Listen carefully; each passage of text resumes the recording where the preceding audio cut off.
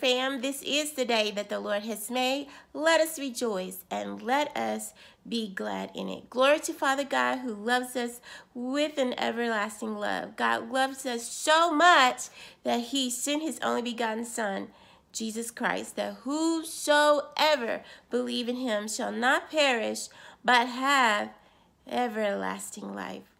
Woo! Glory to God for that love. That love is amazing. There's no greater love that He laid down His life for us because He had the power to pick it up. Glory to God. Well, today is what? What is today? What is today? What is today? Today is the 26th, right? The 26th day. And we have been seeking God every day.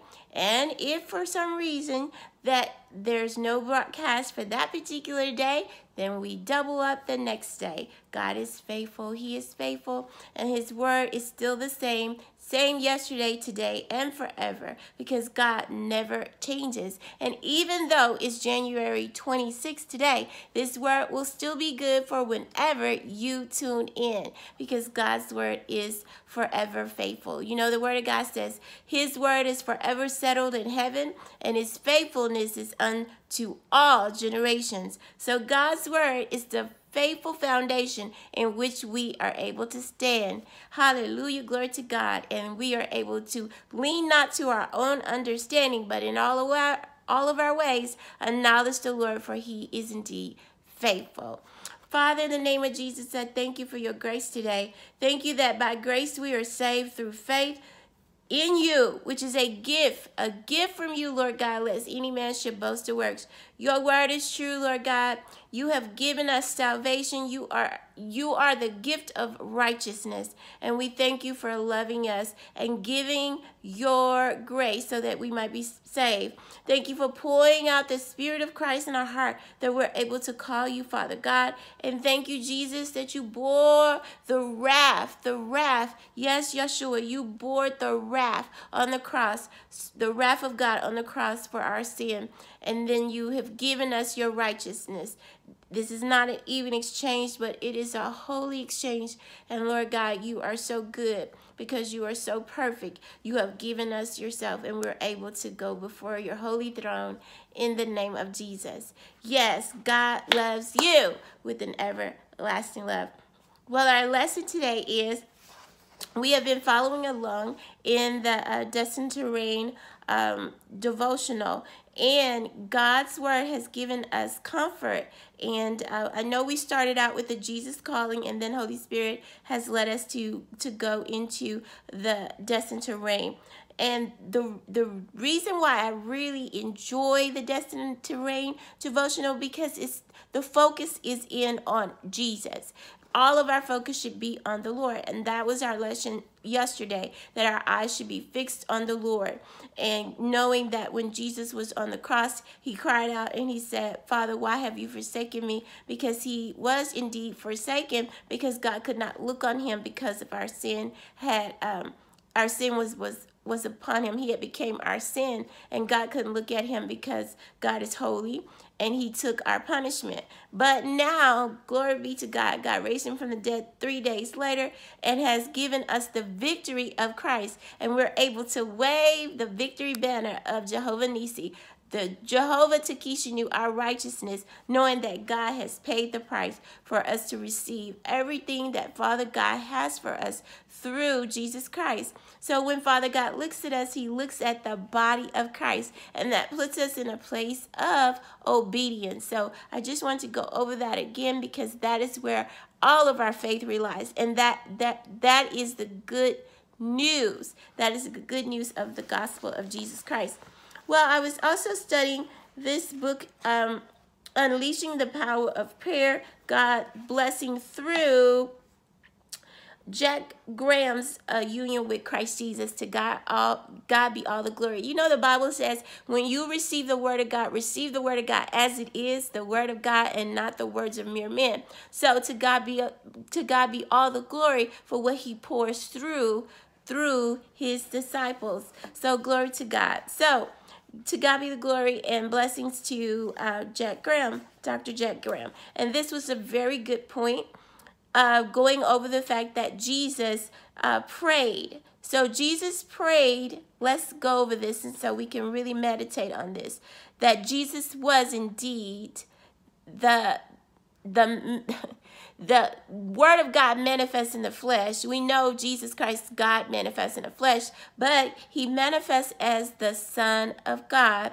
And he often called himself the Son of Man because he was in our stead. He was in our place. He, uh, again, was the even, um, not the even exchange, but the exchange for our sin.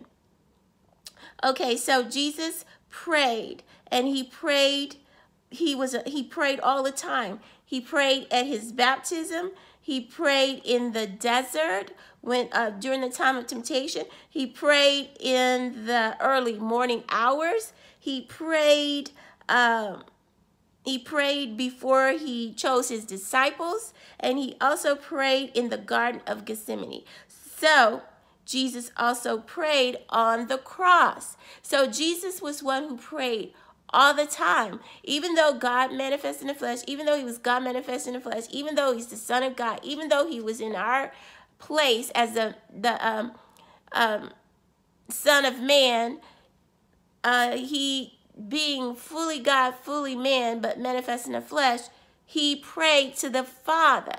He prayed to the Father all of the time. So he is in our example of how we are supposed to seek God and the Holy Spirit, the the Holy Spirit, which is the spirit of intercession, who prays for us, prays all the time. And so we are able to go before Father God, allowing Jesus to pray for us. Hallelujah. The Holy Spirit, for the Lord is the Spirit. And where the Spirit of the Lord is, is liberty. So we're able to allow the Lord to pray for us when we yield to Him and say, Father, in the name of Jesus, Jesus, pray for me. Lord Yeshua, pray for me. And Holy Spirit will, uh, will kick in and begin to pray for us. Rambia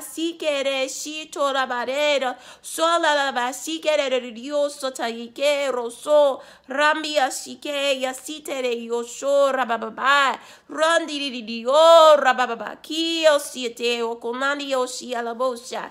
Yes, he is our high priest and he goes before before the heavenly throne of Father God and he prays. He's at the right hand of the Father and he prays for us in our weakness of not knowing what we should pray or how we should pray. He is there to pray for us.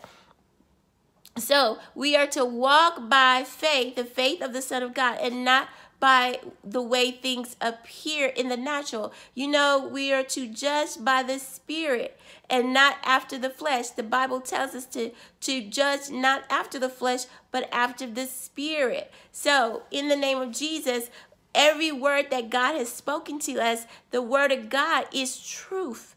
The word of God is truth. He is the truth. He is the life. He is the only way. And his word never changes. So God, what God said is over any other words, any other words. Every other word had to be brought into obedience to Christ. And every knee shall bow and every tongue confess that Jesus Christ is Lord. So if we are not acknowledging the Lord Jesus Christ, we need to make sure that we acknowledge God in all of our ways. So God said that is how we have good success. That is when we yield to the Lord and allow the Lord to go uh, uh, in on our behalf in his presence is the fullness of joy and he begins to intercede for us. So glory to God and know that that is why God takes pleasure in the prosperity of his people. He takes pleasure in it. He said, Beloved, I wish above all things that you prosper, be in health, even as your soul prosper. He sent his word to heal us. He sent his word to deliver us. He said, I have made you partakers of the inheritance in the saints and the light. He, he says, I have delivered you from the powers of darkness. I have translated you into the kingdom of light of his dear son in whom we have redemption through his blood, even the forgiveness of sin. It is written in God's word. He has given us the victory through our union through Christ Jesus. We overcome the enemy by the blood of the Lamb and the word of our testimony. In the name of Jesus, remember that in him we have redemption from the curse of the law through the blood of Jesus, even the forgiveness of all of our sin. So we raise up the victory banner of Jehovah Nisi. We acknowledge that the government is upon his shoulder. Hallelujah. Glory to God. He is the son that was born, the son that it was given, the wonderful counselor, mighty God, everlasting Father, Prince of Peace. Hallelujah. Glory to God. The government is upon his, so, his shoulder. And so everything, everything has to obey when the Lord speaks it is everything has to obey. Hallelujah, hallelujah, hallelujah. Glory to God in the name of Jesus. And God's word is good. God's word is, he says his word is the wellspring of life that brings heal, health and healing. Hallelujah, health and healing to all your flesh. So meditate on the word of God and know that Jesus Christ sent the sent Father God sent his word, Jesus Christ, God manifest in the flesh, to heal and to deliver us. Yes, yes, yes, deliver us from destruction. He has redeemed us from destruction. And God says, No evil shall befall you, neither shall any plague or calamity come to your dwelling. God says that he is our good shepherd, and we shall not be in lack or want. God supplies all of our needs according to his riches and glory by Christ Jesus. So we bow to the Lord and we declare the victory that we have in him. Glory to God. We declare the victory that we have in him. So hallelujah, hallelujah, hallelujah. Glory be to Father God and blessings to you. Grace and peace be multiplied to you, favorite fam, in the name of the Lord Jesus Christ. And if you have not accepted Jesus Christ as your Lord and your Savior, you pray and you ask the Lord into your heart because the Bible says when you confess, he that confess, whoever confesses the name of the Lord Jesus and believe in their heart that God raised him from the dead shall be saved. That is that is truth. God's word is truth. Hallelujah. And he he is he has a covenant with his word, and what he says is truth.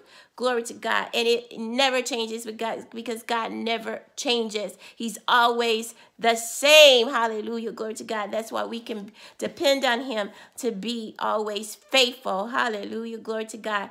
So if you have not subscribe to at Yolanda Phorne. Make sure you do. Hit that subscribe button on YouTube. Hit that subscribe button and also the notification bell so that you will be notified for future videos. And again, blessings to you and I will see you again in the next video. Blessings. Jesus loves you with an everlasting love. Be blessed this evening. Jesus loves you.